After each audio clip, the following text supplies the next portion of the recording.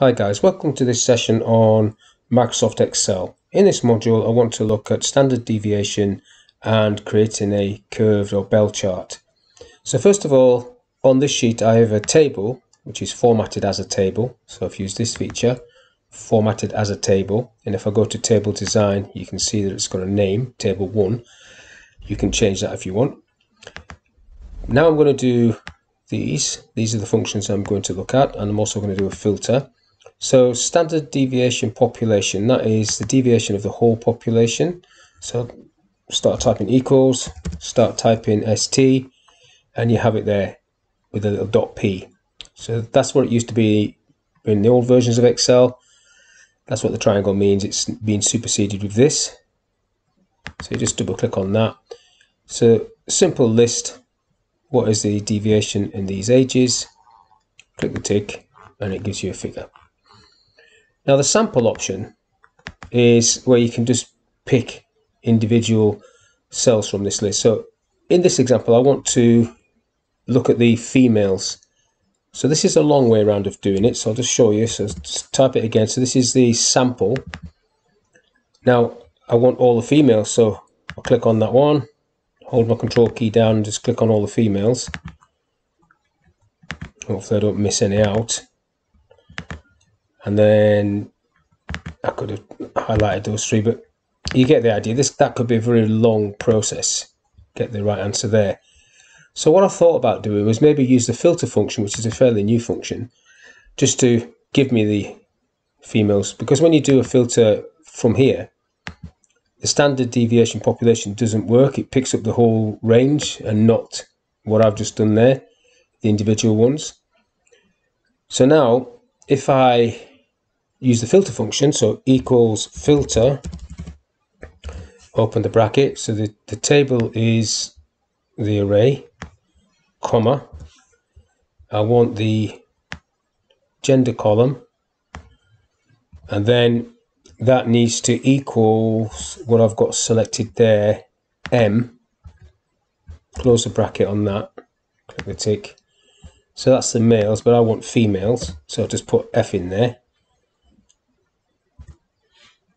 now that's the female so I can do the equal standard popular uh, sample here and just select the females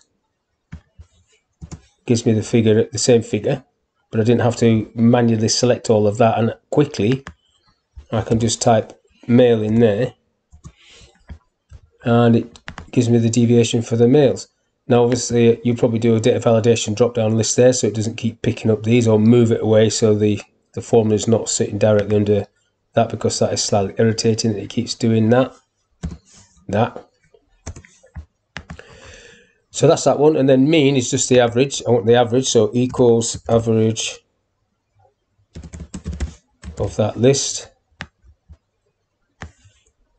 And mode is let's just type what mode is. Mode is an old function as well, but um, if I go back one, you can see you've got mode, multi multiple language, and singular or multiple.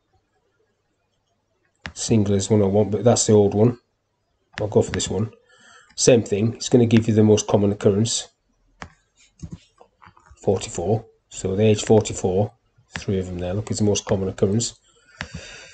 So that's standard deviation, sample and population, mean and mode. Now, if I go on to the next sheet, the curve, we can have a look at how you can create a normal distribution curve.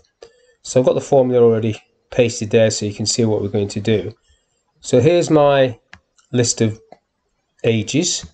So the standard deviation is 7 and the mean, the average, is 60. So the average age is 60. So what you have to do is you have to create a numbered list of three standard deviations below and above the mean. So I've come down to 39 because 21 is three of them. So down to 39 and then up to 81. So 60 there is the mean. So three standard deviations below and three standard deviations above. And then I can type this formula, normal distribution. So it's equals norm, that one. X is this first cell, comma. So the mean is this cell, and I need to dollar sign that because I'm going to pull it down, comma. Standard deviation is that cell, and again I'm going to dollar sign that, and then cumulative wants to be fourth.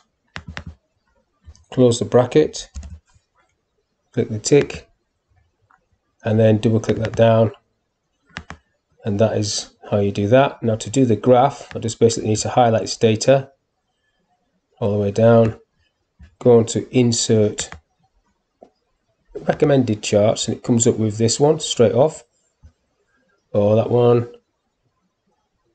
I'll go for this one.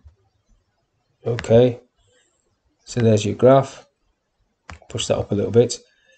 Now if you need to change the uh, scale on this, you can just double click on that and change the minimum from 0 to 30. Let's go for 30. The maximum can stay where it is and that just moves that across a little bit. But that's all I want to talk about in this little session. So hopefully you enjoyed that and thank you for your time.